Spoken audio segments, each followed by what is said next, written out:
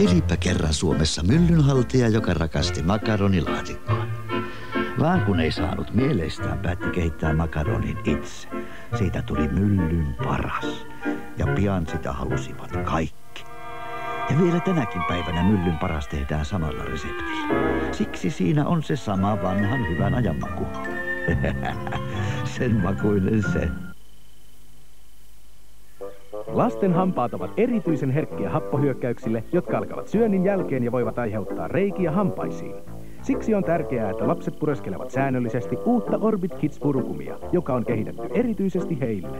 Orbit Kids pysäyttää happohyökkäykset, vähentää reikiintymistä ja vahvistaa hammaskiillettä. Tutkimustulokset osoittavat, että lapset, jotka pureskelevat säännöllisesti Orbit Kids purukumia, saavat vähemmän reikiä hampaisiin. Ja se maistuu hurjan hyvälle. Päivät alkavat auringon paisteella. Jokainen kullankeltainen Kellogg's Cornflakes hiutale on kypsynyt 140 päivää auringon alla. Täynnä hiilihydraattien energiaa, B-vitamiineja ja rautaa. Täytä päiväsi auringon paisteella. Aloita päiväsi Kellogg's Cornflakeseilla. Kelloks.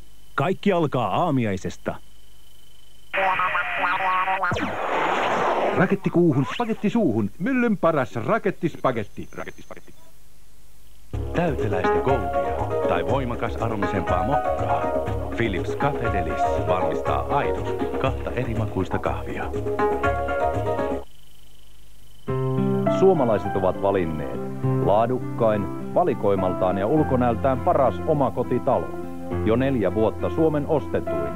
Kastelitalossa asuu tyytyväinen perhe. Tänä viikonloppuna Kastelin talotapahtumat kutsuvat sinua.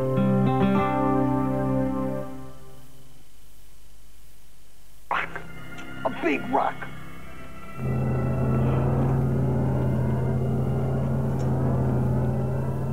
Doesn't look like any rock I've ever seen.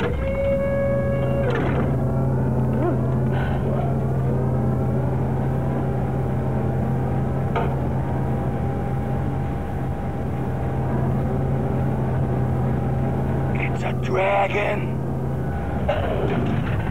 Its armor is made of diamonds.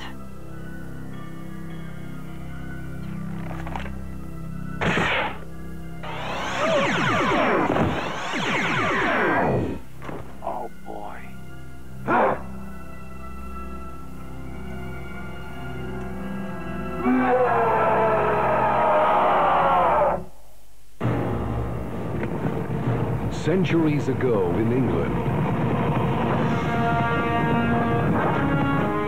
it was an era of chivalry and magic.